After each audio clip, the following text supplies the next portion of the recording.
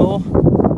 Another, another little wild camp. Uh, didn't exactly go to plan this one, first of all, because we uh, planned to go to Derwent Edge and camp by the Wheelstones. But there's uh, basically a lay-by and signs saying, motorist, watch your cars, this, that and the other. And to be honest with you, we didn't want to park there because we were worrying about getting the windows smashed in and ruining the old trip. So decided to come back to Old Faithful and park to the pub. Uh, it's the first wild camp we ever had in the beach. So we decided to come back to Higger Tor and uh, got it more or less all to ourselves this time, apart from a couple of climbers that are just about packing up down that way. But yeah, the wind's a bit biting. It's a lot colder than you think it is. A nice lovely jacket on. Early Christmas present. yeah, we'll uh, get the kit set up soon. Get the tents up uh, get a nice big hot chocolate going. I got something funny to show you this time as well. I made a little purchase. Little purchase. It's alright guys. Bring you back in a bit.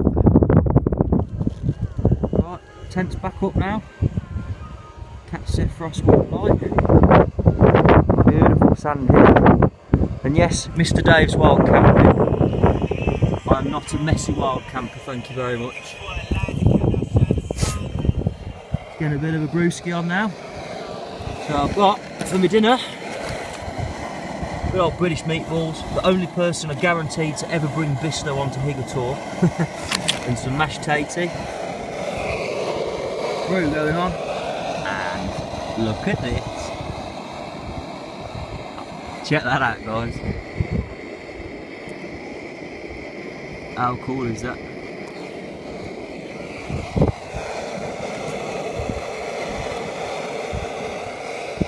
Ah, it's official. I'm now a brand. Pens, keyrings, climbing carabiners, you name it. You saw it here first.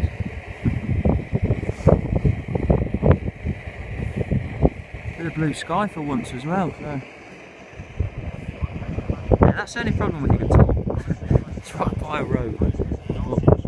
I think we should be alright to be honest with you. But very many places to pitch up here to be honest with you. Obviously because it's a bit of a rocky outcrop. That there's not really many places. But we found a nice spot anyway.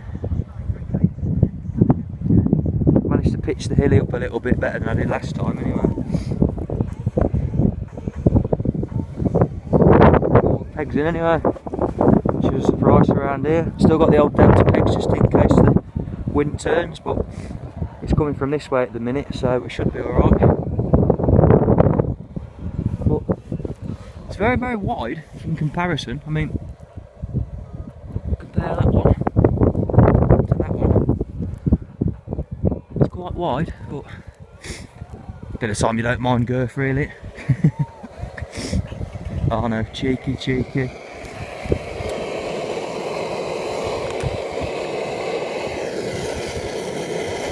On the old Primus Omnilite stove now, the multi-fuel titanium one, so I can flip the gas upside down if needs be. And I've actually got another gas this time, so there's no danger of running out. So right, I'm gonna brew up,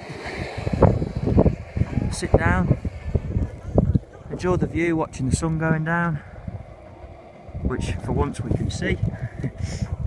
Closed in a bit over that way, but should be alright I reckon. Yeah guys, catch you in a little bit.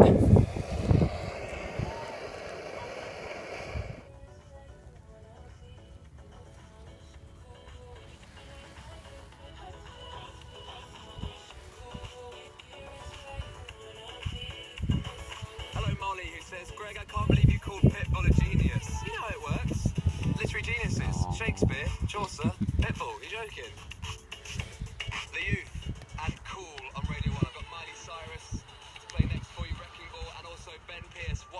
Do. Plus for me, our wonderful Feet Up Friday audience. First, though, a news update at 4.30 with Jonathan Blake.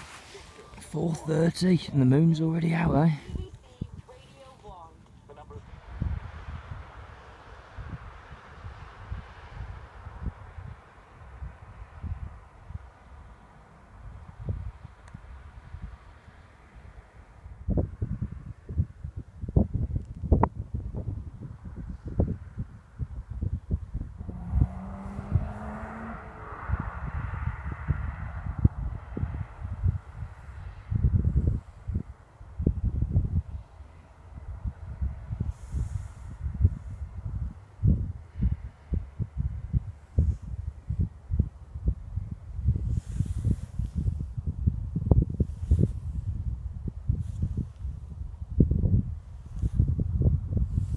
All about.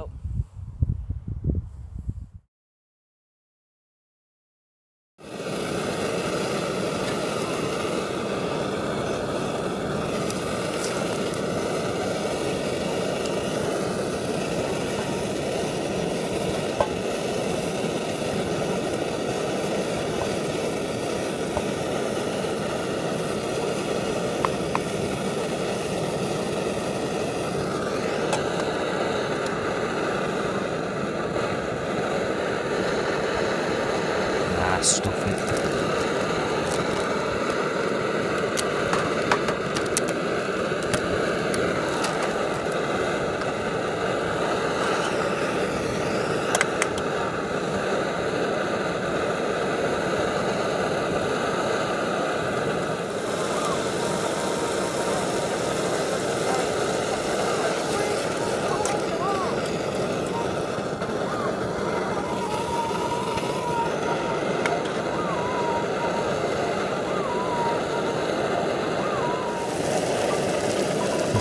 Taking slightly too long. And I'm hungry.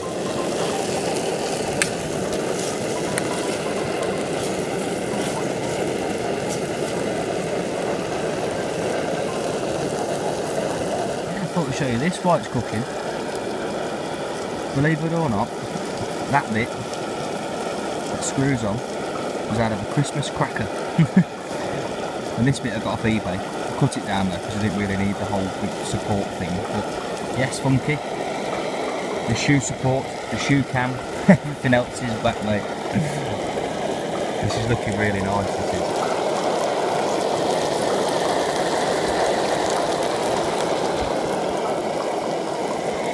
Position it back in. It's not as good as the brew support for the old camera lens mug, but uh, kind of prefer that one myself. right, back with the cooking, stop playing about.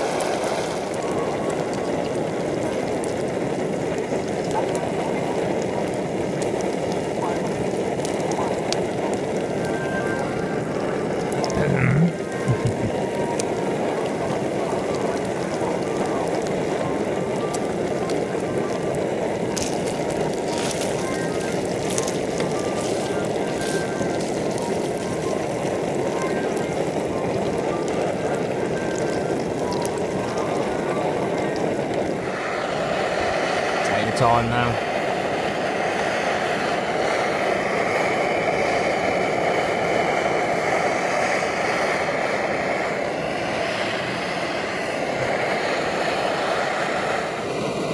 Right then, so while waiting for the water to boil for the gravy, I'm gonna stick the mash in. Another one of the old one pot specials.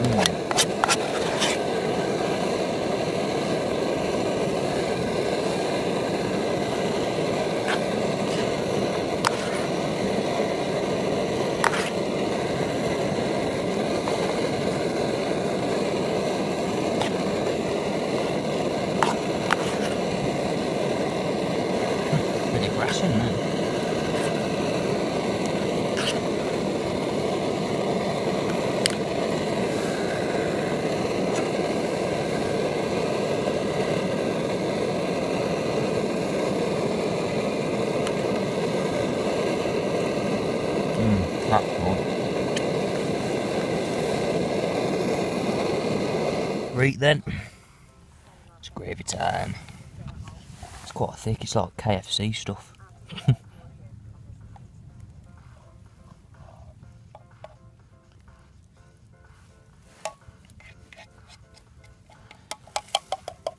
That'll do for me, lad.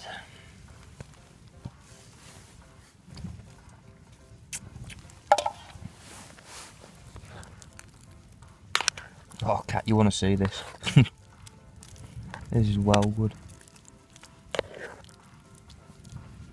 Now, if that ain't comfort food, I don't know what is.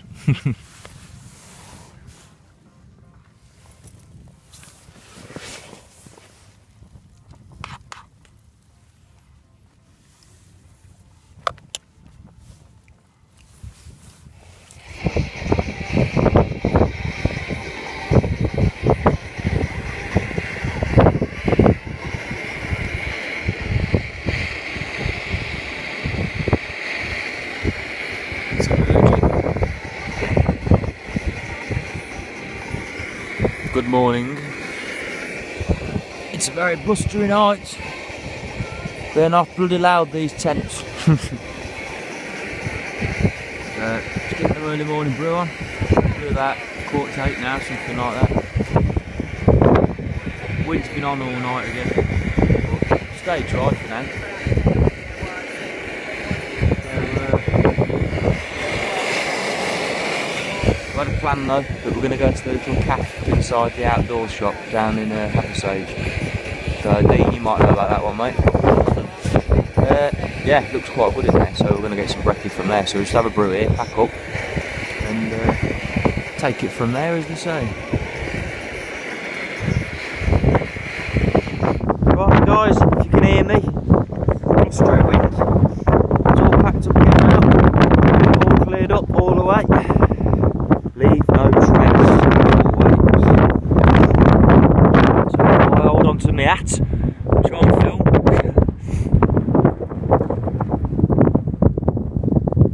Right, oh, I'm going to walk back across Higger Tor now, back down over there, get to the left of the stone square, and then head off back towards the car, and then go and find that shop and get some brekkie. so right, Onwards well, downwards, I suppose. We're nearly down now, but come a different way back to last time. You can just see it, at the very top in the middle there. Walked all the way down the bottom field. There it is. But it's a nice little pool, eh? this. Well, river, obviously. so, come on then, smart ass, how are we going to get up there now?